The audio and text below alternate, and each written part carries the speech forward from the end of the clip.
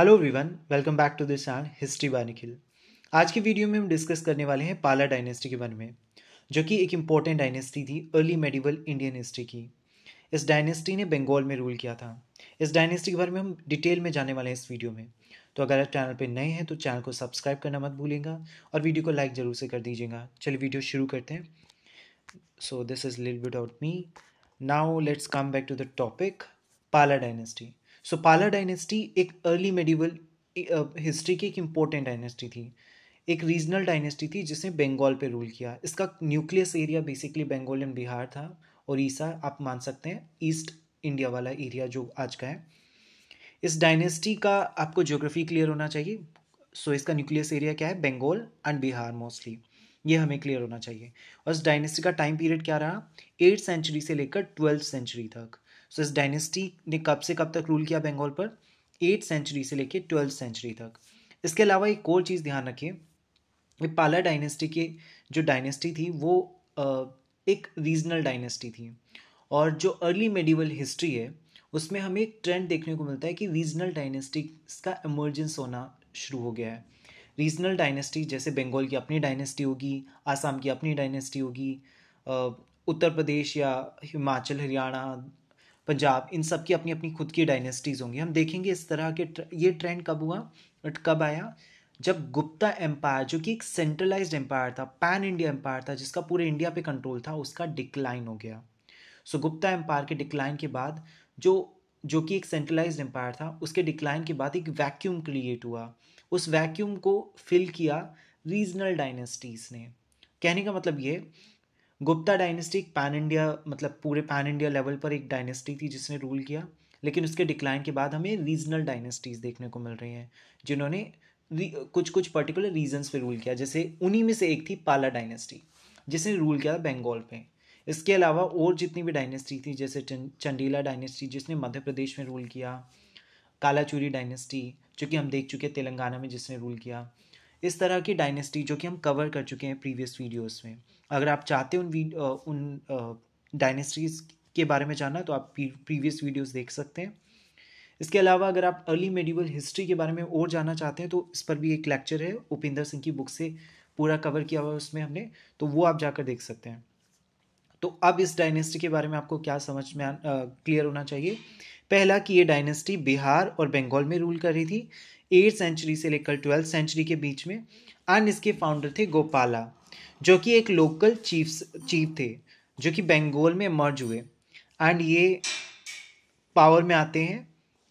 उस टाइम पर जब बंगाल में नारकी थी और इनको इलेक्ट किया गया लोगों के द्वारा सो इनका कोई ऐसा इंसेस्ट्रल लिंक नहीं था किंग की किंग से मतलब इनके घर में सब किंग नहीं थे, क्योंकि हम देखते हैं जितनी भी मोनार्किकल स्टेट होते हैं वहाँ पे राजा का बेटा ही राजा बनता है। लेकिन अगर इनके केस में देखा जाए पाला डायनेस्टी के केस में, जो फाउंडर थे इसके गोपाला, उनका कोई लिंक नहीं था। उनके एंसेस्टर कोई किंग नहीं थे।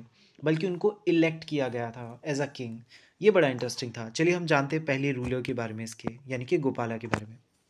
सो so बेसिकली जो कि इस डायनेस्टी के फाउंडर हैं तो ये ध्यान रखना है। Who is the founder of the Pala dynasty that is Gopala इनको इलेक्ट किया गया था थ्रोन पे मतलब इनको ये जो पावर मिली थी as a king he become king after election people elected him क्योंकि इनमें जो साहस था, इनकी कैपेसिटी इनके पोटेंशियल को देखकर एज अ लीडर चुना गया। और इन्होंने अपने रूल के दरमियान बुद्धिस्ट को काफ़ी पेट्रोनेज दिया, और ये खुद भी बुद्धिस्ट थे। और बंगाल में इनके टाइम पर बुद्धिज़्म काफ़ी स्प्रेड होने लगा, और बुद्धिज़्म को पेट्रोनेज मिला रॉयल पेट्रोनेज सो हम देखेंगे बुद्धिज़्म का जो स्प्रेड हुआ है बंगाल में, या फिर तिब्बत एरिया में उसमें काफ़ी बड़ा कंट्रीब्यूशन है पालास का। और उसके बाद हम देखेंगे पालास जो गोपाला थे, जो कि फाउंडर थे इस डायनेस्टी के, उनको सक्सीड करते हैं Dharmapala seven hundred seventeen C में। अब हम बात कर लेते हैं हमारे नेक्स्ट रूलर की, धर्मपाला जिन्होंने सक्सीड किया गोपाला को। सो ये गोपाला के सक्सेसर थे। इन्होंने काफ़ी नॉर्थ इंडिया का काफ़ी बड़ा पार्ट कॉन्कर किया। हालाँकि इनका जो मेन न्यूक्लियस एरिया था वो बंगाल एंड बिहार ही था, जो हम देख चुके हैं इस पाला डायनेस्टी का nucleus area Bihar and Bengal ही रहा है। इन्होंने, इनके टाइम पर एक दरबार हेल्ड किया गया था कन्नौज में, और वहाँ पे इन्होंने अपने एक पपेट रूलर को रखा था, जिसका नाम था चरका युद्ध इससे पता चलता है कि इन्होंने काफ़ी बड़े एरिया को कॉन्कर किया, और जो बाकी किंग्स थे, उनको अपने सबॉर्डिनेट कर लिया। ऐसे किंग थे चक्रायुद्धा जो कि कन्नौज के किंग थे जिन्होंने इनको सुप्रीम मान लिया एज अ सुप्रीम किंग माना और खुद को सबॉर्डिनेट माना। चक्रायुद्धा एक एग्ज़ाम्पल है। इसके अलावा हम देखेंगे बहुत अलग अलग पार्ट्स पे भी इन्होंने कॉन्कर किया। जैसे कि यू नो नॉर्थ इंडिया का बहुत बड़ा ही पार्ट को कॉन्कर किया। सेंट्रल इंडिया के बहुत बड़े पार्ट को कॉन्कर किया। इसी, इन्हीं के टाइम पर हम देखेंगे बुद्धिस्ट मोनेस्ट्रीज भी एस्टेब्लिश की गई, जैसे कि विक्रमाशिला। सोमापुरी, उडानतापुरी, जो कि बड़ी इंपॉर्टेंट मोनेस्ट्रीज रही हैं और ये एग्ज़ाम से पूछ ली जाती हैं। इसके फाउंडर्स पूछ लिए जाते हैं। अब हम बात कर लेते हैं देवपाला। देवपाला जो कि सक्सेसर थे धर्मपाला के, इन्होंने एम्पायर को एक्सटेंड किया और क्लेम किया कि इन्होंने पूरे नॉर्थ इंडिया से ट्रिब्यूट हासिल किया। इसका कहने का मतलब कहने का मतलब ये है कि नॉर्थ इंडिया में जितना भी नॉर्थ इंडिया के रूलर थे वो सब इनके सबॉर्डिनेट हो गए और उन्होंने इनको ट्रिब्यूट पे किया। ये क्लियर होना चाहिए। हिमालय से लेकर विंध्या तक इनका रूल था इनडायरेक्ट रूल था, ये क्लियर होना चाहिए। डायरेक्ट रूल नहीं डायरेक्ट रूल में किंग सीधा रूल कर रहा होता है उस एरिया को। लेकिन इनडायरेक्ट रूल में एक किंग दूसरे किंग को रूल करने देता है और बदले में ट्रिब्यूट लेता है। एक एक आप कह सकते हैं गिफ्ट या टैक्स इस तरह से रूल करते थे ये। सो देवापाला का जो डायरेक्ट कंट्रोल था वो बिहार एंड बंगाल में था। और जो इनडायरेक्ट कंट्रोल था वो इनका पूरे एंटायर नॉर्थ इंडिया में था, जैसा ही क्लेम करते हैं।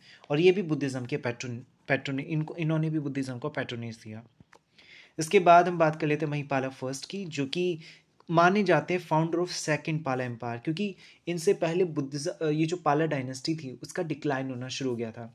लेकिन इन्होंने पाला डायनेस्टी को या पाला एम्पायर को वापस से रिवाइव किया। इसलिए इन्हें बोला जाता है second Pala founder of second Pala empire अगर ये ना होते तो फिर पाला एम्पायर का डिक्लाइन ही हो जाता इस टाइम पर। लेकिन उन्होंने वापस से रिवाइव किया। हालाँकि इसके बाद फिर डिक्लाइन होना शुरू हो गया था। इन्हीं के टाइम पे हम देखेंगे कि पाला जो है, वो काफ़ी एंसेस्ट्रल किंगडम्स वापस रीगेन कर लेते हैं, जैसे बंगाल सो बेसिकली जो महिपाला फ़र्स्ट से पहले जितने भी रूलर्स थे, जो वीक रूलर्स थे, उन्होंने काफ़ी अपना एरिया खो दिया था बाकी रूलर्स को, लेकिन इन्होंने वापस से वो रीगेन किया। एंड जो एक प्रिविलेज था, एक ग्लोरी थी, वो वापस से अचीव की। इसके अलावा इन्होंने नॉर्थ वेस्ट ईस्ट बंगाल का काफ़ी एरिया कॉन्कर किया, अपनी टेरिटरीज को एक्सटेंड किया बनारस तक वेस्ट में। अब डिक्लाइन की बात कर लेते हैं सो पाला एम्पायर का डिक्लाइन होना शुरू हो गया था नाइन्थ सेंचुरी में। लेकिन इसको बीच में इलेवेंथ सेंचुरी में रिवाइव किया था महिपाला फ़र्स्ट ने, जो कि हम अभी देख चुके हैं, ये रहे महिपाला फ़र्स्ट लेकिन फिर दोबारा से डिक्लाइन शुरू हो गया था और अल्टीमेटली पाला एम्पायर का डिक्लाइन हो जाता है ट्वेल्थ सेंचुरी में। ये वो एम्पायर था जिसकी शुरुआत बंगाल में हुई थी एट्थ सेंचुरी में और इसका डिक्लाइन हो गया अल्टीमेटली ट्वेल्थ सेंचुरी में। और ट्वेल्थ सेंचुरी वो टाइम में ये भी ध्यान रखिएगा, जब बेसिकली ट्वेल्थ सेंचुरी वो टाइम है बेसिकली जब you know Turkish invasions India में हो रहे हैं और मोहम्मद गोरी, मोहम्मद गजनी, बाकी लोग आ रहे हैं। यानी कि मुस्लिम इन्वेजन्स होना शुरू हो गए हैं।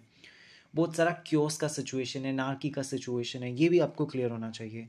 इनके डिक्लाइन के साथ साथ बुद्धिज़्म का भी डिक्लाइन होना शुरू हो गया था बंगाल में। इसके अलावा हम देख लेते हैं, इनका डिक्लाइन क्यों हुआ? तो वीक रूलर्स थे तो हम देखेंगे महिपाला फ़र्स्ट से पहले जितने भी रूलर्स थे वो वीक थे। धर्मपाला के बाद जितने भी रूलर्स थे वो वीक थे। और महिपाला फ़र्स्ट से पहले। सो so, कहीं ना कहीं वीक रूलर्स की वजह से डिक्लाइन हुआ। महिपाला फ़र्स्ट के बाद जितने रूलर रहे वो वीक थे।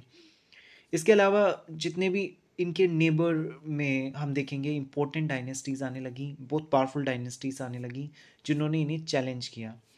राष्ट्रकूटा एंड प्रतिहारा उन्हीं में से एक थी। राष्ट्रकूटा एंड प्रतिहारा ने काफ़ी बाला किंग्स को डिफीट किया और अल्टीमेटली इस डायनेस्टी का डिक्लाइन हो गया। इसके अलावा इसके जो जितने भी सबॉर्डिनेट किंग्स थे आसाम में, उड़ीसा में, वो सब इंडिपेंडेंट हो गए। क्योंकि किंग वीक हो गया। देखिए, जब किंग वीक हो गया तो ओबियसली जितने भी रूलर्स होंगे, जो सबॉर्डिनेट मानते थे पाला से अपने आप को, जो पाला को सुपीरियर मानते थे और खुद को सबॉर्डिनेट मानते थे और कहीं ना कहीं पाला के गुलाम थे एक तरह से आप कह सकते हैं। लेकिन वो अब इंडिपेंडेंट हो गए, क्योंकि उन्हें लगा कि अब तो जो रूलर हैं, पाला डायनेस्टी के, वो वीक है। इस चीज़ का उन्होंने फ़ायदा उठाया और वो इंडिपेंडेंट हो गए अज्यूम किया उन्होंने इंडिपेंडेंस इसके अलावा हम देखेंगे, जो पाला डायनेस्टी थी, उसका रिवाइवल हुआ मई पाला फ़र्स्ट के टाइम पे टेंथ सेंचुरी में, लेकिन वो भी अल्टीमेटली ट्वेल्थ सेंचुरी में डिक्लाइन हो ही जाता है। इसके अलावा एक और चीज़ ध्यान रखना है तीन एम्पायर्स के बीच में जो क्लैश हो रहा था जिसपे एक अलग सेपरेट वीडियो में हम बात करेंगे, राष्ट्रकूटा, प्रतिहारास एंड पालास। इन तीनों के बीच में जो क्लैश था, वो भी हम डिस्कस करने वाले हैं, जिसका कोर था कन्नौज। अगर आपको वीडियो पसंद आई तो thank you for your you know watching this video and अपना यू नो वीडियो को लाइक ज़रूर से कर दीजिए चैनल को सब्सक्राइब कर दीजिए। Thank you for watching the video